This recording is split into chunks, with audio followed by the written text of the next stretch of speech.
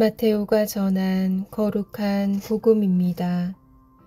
그때 요한의 제자들이 예수님께 와서 저희와 바리사이들은 단식을 많이 하는데 스승님의 제자들은 어찌하여 단식하지 않습니까?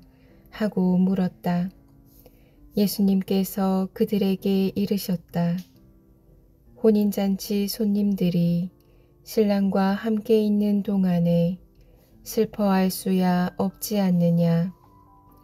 그러나 그들이 신랑을 빼앗길 날이 올 것이다.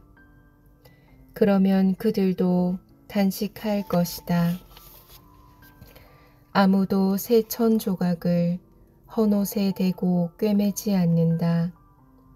헝겊에 그 옷이 당겨 더 심하게 찢어지기 때문이다. 또한 새 포도주를 헌 가죽 부대에 담지 않는다.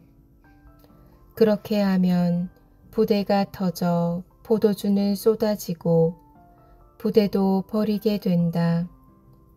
새 포도주는 새 부대에 담아야 한다. 그래야 둘 다 보존된다. 주님의 말씀입니다.